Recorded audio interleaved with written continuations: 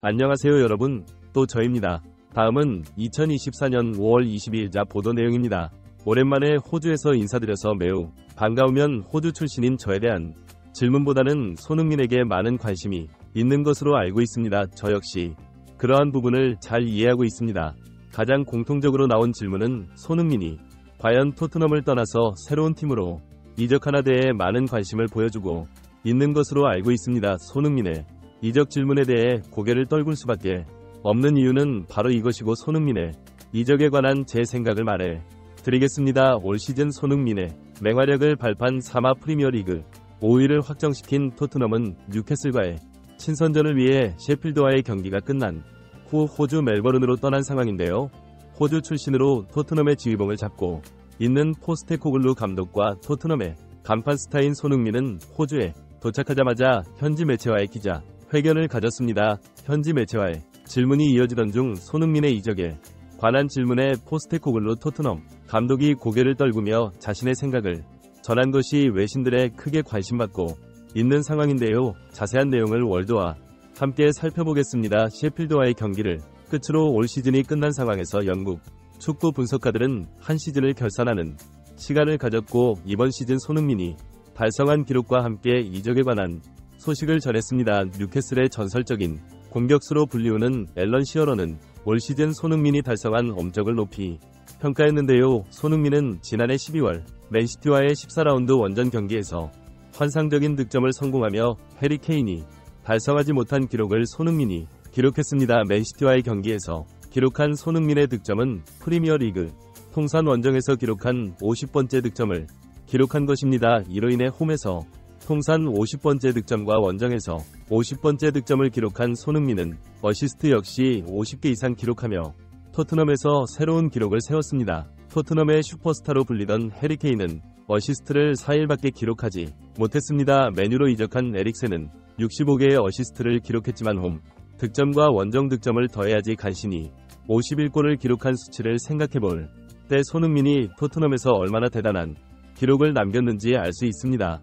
이러한 손흥민의 50클럽은 토트넘에서 최초이며 프리미어리그 역대 7번째 선수의 위치에 오르는 영광을 차지했습니다. 그리고 셰필드와의 경기에서 텐텐 클럽까지 달성한 손흥민은 텐텐 클럽을 3회 이상 기록한 선수가 되었고 이러한 기록은 프리미어리그 32년 역사상 단 6명만이 누릴 수 있는 영광입니다. 이번 시즌을 시작하기 전 손흥민에 대해서 여러 매체들의 다양한 관점들이 있었고 공통점으로 나온 이야기는 손흥민의 기량이 하락하고 있는 것이 아니냐는 의문을 가졌습니다. 하지만 이러한 예측을 비웃기라도 하듯이 17개의 득점과 10개의 도움으로 올 시즌을 성공적으로 마쳤으며 이러한 손흥민의 맹활약에 토트넘의 레비 회장은 불안에 떨고 있습니다. 클롭 감독이 올 시즌을 끝으로 리버풀을 떠나지만 새로운 감독으로 부임하는 슬롯 감독의 레이더망에 손흥민이 포착되었고 다음 시즌 treble 우승을 원하는 맨시티의 펩 과르디올라 감독 역시 손흥민의 영입전에 뛰어들 것을 시사했습니다.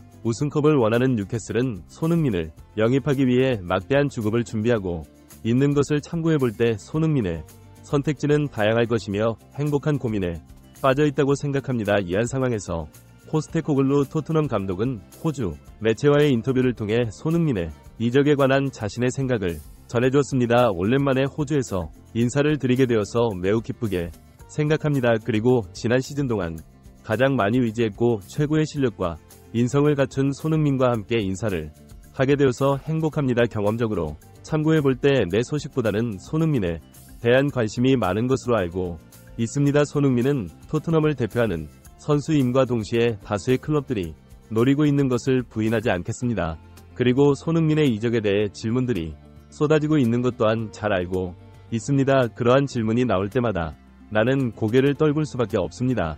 왜냐하면 손흥민을 생각하면 두 가지의 생각이 공존하는 것이 사실입니다. 내가 토트넘의 감독의 부임이 있었을 때 한 가지 조건이 있었습니다. 토트넘을 성공적으로 이끌기 위해서는 손흥민의 존재가 필수적이었기 때문에 손흥민을 중심으로 새로운 팀으로 개편하고 싶었습니다. 그렇기 때문에 손흥민을 토트넘의 캡틴으로 낙점할 수밖에 없었고 시즌 초반 손흥민을 중심으로 좋은 성적을 거두면서 우리는 막강한 우승 경쟁자로 발돋움할 수 있었습니다. 그러나 우리에게는 손흥민을 지원해줄 자원들이 부족했고 손흥민의 득점을 살려줄 선수들을 영입하려고 노력했지만 구단에서 제시한 재정적 조건에 이견으로 중원 보강을 실패했습니다. 시즌 초반에 우리는 놀라운 퍼포먼스를 보여주었고 그 중심에는 손흥민이 있었습니다. 경기를 거듭하면 할수록 손흥민에 대한 확신이 생겼습니다. 어떻게든 손흥민에게 질 좋은 패스를 제공해줄 수 있는 선수가 필요했고 새로운 영입이 간절했습니다. 그러나 이러한 환경을 제공하는데 한계점을 깨닫고 나서 손흥민에 대해서 미안한 감정이 들기 시작했습니다. 프리미어 리그를 넘어서 세계 최고의 득점력을 지닌 손흥민을 보다 극대화시킬 수 있는 선수를 영입하는 것은 손흥민을 지킬 수 있는 최선의 방법이라고 생각합니다. 만약에 이러한 조건을 구단에서 충족시켜주지 못한다면 손흥민이라는 보석을 우리는 놓칠 수밖에 없다고 생각합니다. 팀을 직접적으로 언급할 수는 없지만 프리미어 리그 내에서 많은 팀들이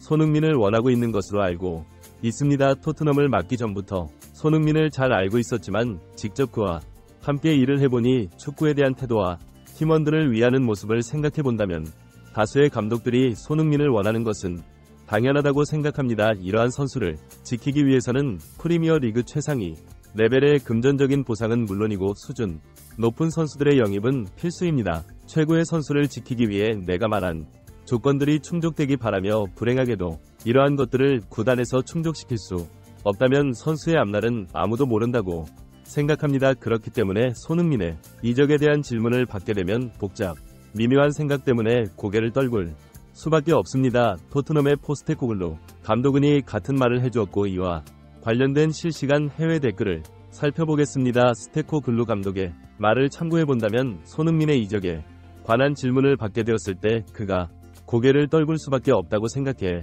직접적으로 언급은 하지 않았지만 레비 회장의 구단 운영을 비판하는 것처럼 보여줬어 손흥민과 같은 슈퍼스타를 지키기 위해서는 막대한 금전적인 투자가 필요해 보이고 포스테코글로 감독의 말처럼 손흥민과 같은 슈퍼스타의 영입이 토트넘에 필요해 보여 손흥민의 득점력을 도와줄 수 있는 레벨이 높은 선수가 영입되어만 토트넘은 우승을 노릴 수 있고 손흥민 역시 지킬 수 있다고 생각해.